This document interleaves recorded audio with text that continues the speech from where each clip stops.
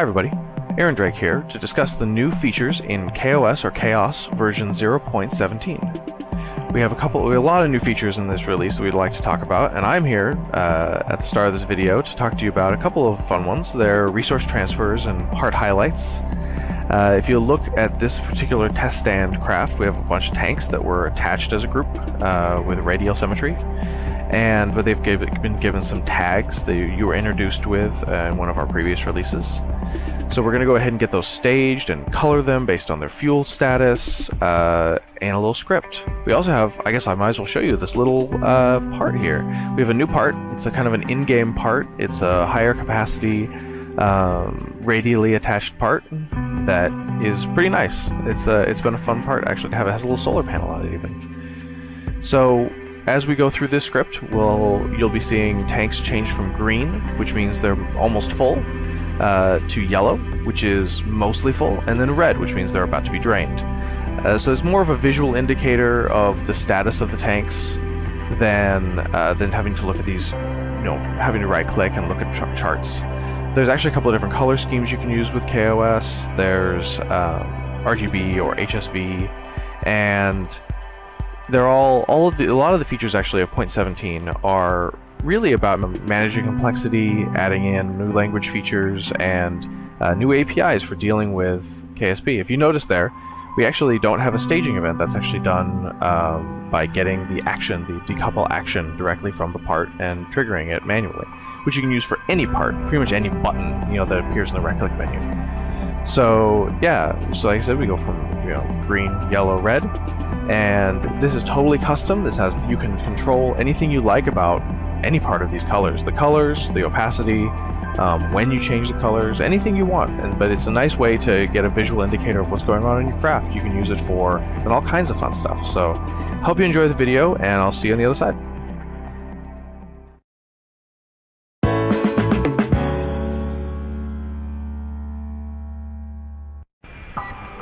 Hello, Stephen Mading here, also known as Dunbaratu on GitHub.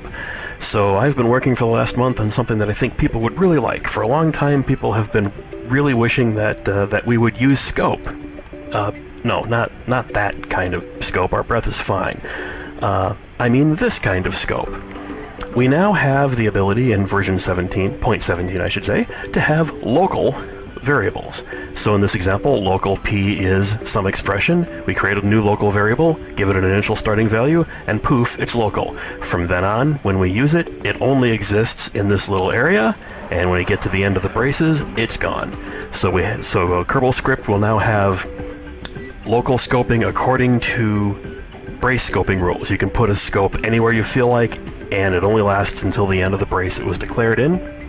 You can still create global variables if you want, or you can create them locally. So everyone's going to be happy about that. I think they've been waiting for that for a long time. One of the main reasons we've been doing this is because, and this is the really big deal, big deal, we now finally have functions.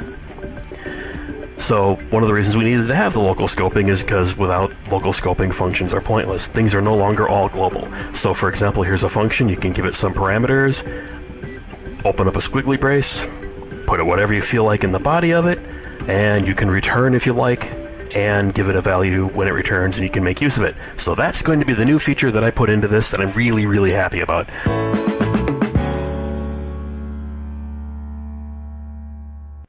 Hey everybody, erendrake here uh, with more new features, but first I wanted to talk about, uh, as we put this video together and we're getting ready for release, the original author of uh, KOS went ahead and he surfaced again, Nivekk, and he started uh, producing KOS Classic. And you know we want to, we wanted to see awesome, cool mods. We're not afraid of competition, uh, but it'd be great to have him on the team. And we've reached out to him many times to try to get uh, one cohesive mod that has all these cool features because he's added some really fun stuff. Uh, I just wanted to get that out of the way, and now I want to talk about this. Uh, the to show docked elements uh, as you get a craft together and you dock multiple pieces together it'd be nice uh, a lot of times it's nice to just for like fuel transfer or whatever to identify what are all the parts that are in this node and this node and this node that are all docked together. And this is kind of a little short snippet about how that works so you can see all the different colors and everything of the different units. So have a good day and uh, thanks for watching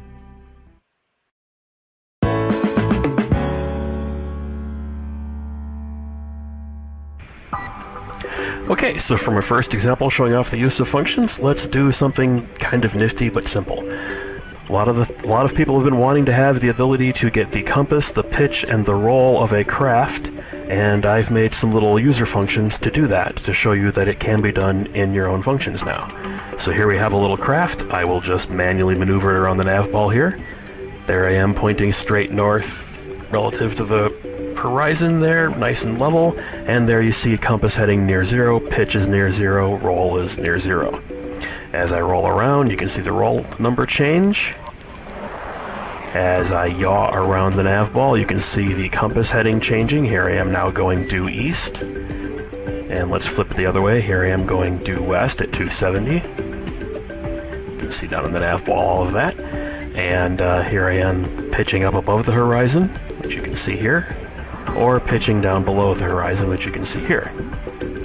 Now, all that did to make that work is here's the main program. It called a thing called libnavball, which is just another KerboScript program.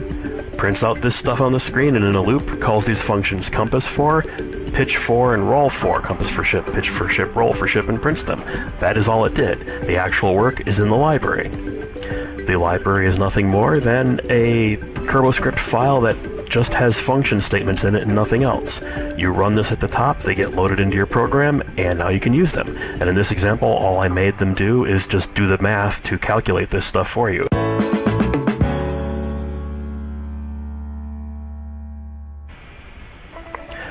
And now I have another example of the usefulness of the new functions feature in KOS. Um, one of the things you constantly run across when trying to control things in KOS is the need, need to have a PID controller to make nice, smooth controls of things, a proportional integral derivative controller. Well, we have that now, and uh, I will be including this in the examples on the documentation page. This is a generic PID function. It's a very simple one. It doesn't automatically tune the parameters for you. You just have to pick some and tell it. Maybe in a future iteration we'll make that better. But at any rate, uh, you initialize it by giving it the tuning parameters you like for your PID controller. It creates some data for, out of that, and then in a loop you continually call its partner program or partner function PID seek, passing it in that information that you got from PID init, telling it the value you'd like to seek, telling it the value it currently is at, and it will spit out for you what you should change your input value to for the thing that you're controlling that's supposedly going to affect the Here's an example where I'm going to use it to do the thing that people always tend to do for, for the first time with a PID controller, and that is attempt to hover. And now the main body of it, all it does is it calls that PID init from the libpid function, or from the libpid file, and uh, then calls PID seek every time in a loop over and over again, and I have it set so when I turn the, the landing gear on, that will kill the script. Until then, it just keeps trying to hover. There it takes off, and it's being and is adjusting the throttle, trying to reach the altitude of 25 meters, which is the default. Now I have it set up so I can press some buttons here to change the seeking altitude. Let's uh, let's lower it a bit. Make it seek nice and low. There it is, trying to stay a mere 9 meters above the ground. It is doing it based upon the radar altitude, not the actual altitude. So as I fly off the pad, it'll fall down a bit there. There we go. So as you can see, it uh, it's pretty steady, just a standard PID controller. It has absolutely no idea what I'm using it for. It doesn't realize I'm using it to hover a, a robot. Could be using it for anything, it wouldn't really know.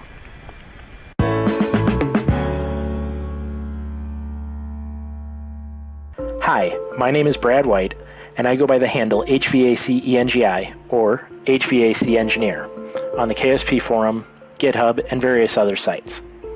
I'm going to walk through the new integration between KOS and the stock SAS modes that were released with KSP version 0.90. As you can see, I already have a craft in orbit ready for testing. The syntax is pretty simple, and we tried to keep it as intuitive as we could there is a new bound variable called SAS mode. You can both get the current variable as well as set the new value. So for starters, typing print SAS mode will return the currently selected mode, in this instance, anti-normal. You set the value the same way you set any other variable, So if we want to aim prograde, just type set SAS mode to and then the string value for prograde. As you can see, the vessel snaps to the prograde vector. I'm going to run a script in the background here that'll run through the various other modes while I explain a couple more items.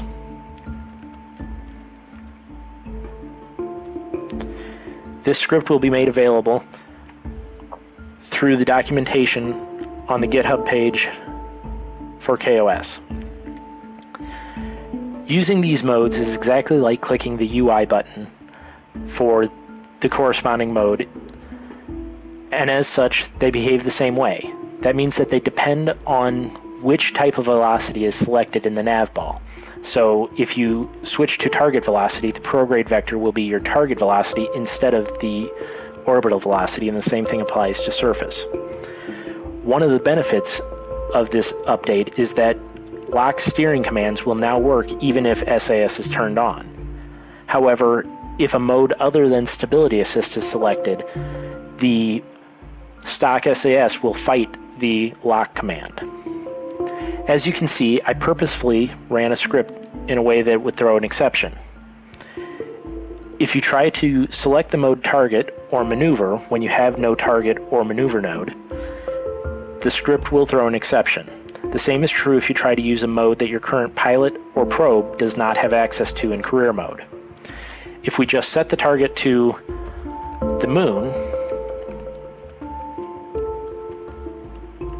you can see that now set SAS mode to target and set SAS mode to anti-target.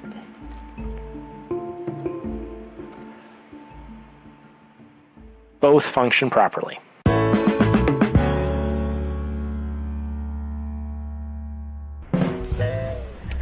Hello, Stephen Manning again. I would like to give a shout out to some of the people who were unable to participate in this release video.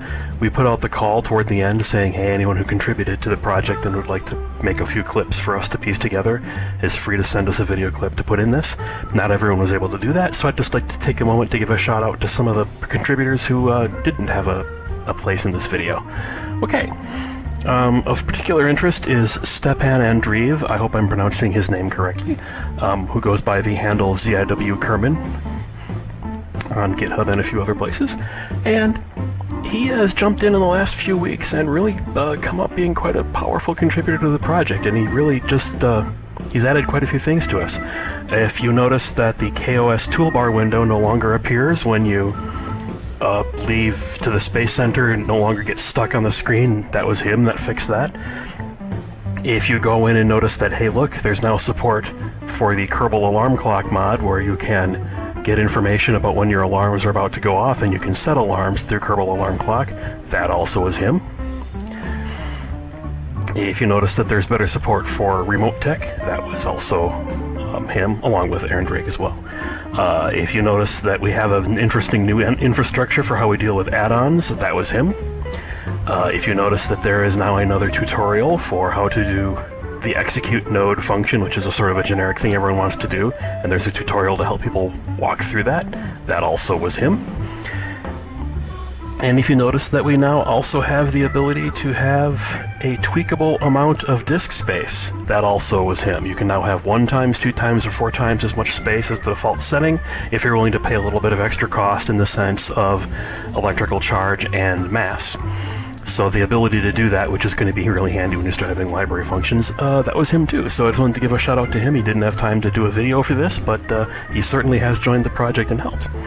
I'd also like to give a shout out to Sir Diazo of uh, Action Group's Extended fame.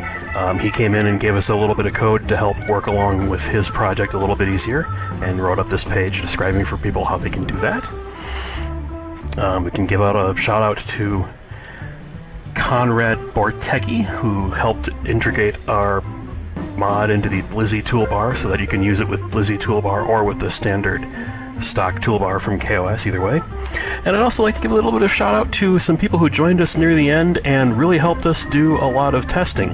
When I did the functions release, I knew it was going to need a lot of regression testing because it has the potential to break a lot of things, and I knew that I couldn't think of all the cases myself, so all these new people came in They were of great help to us. Um, I'm going to pronounce some of these names wrong. Uh, Eben Kovskill, Xavi Andino, Andano, Seth Percival, Thomas Williams, also known as TW, TW89, and The Great Fez. All these people joined us in our chat channel and gave me a lot of very good feedback and a lot of very good uh, issue reports on GitHub about the functions feature. And it is largely because of their contribution of testing effort that we were able to get it pretty solid before release. So I just wanted to give them a shout out and say to them, thank you.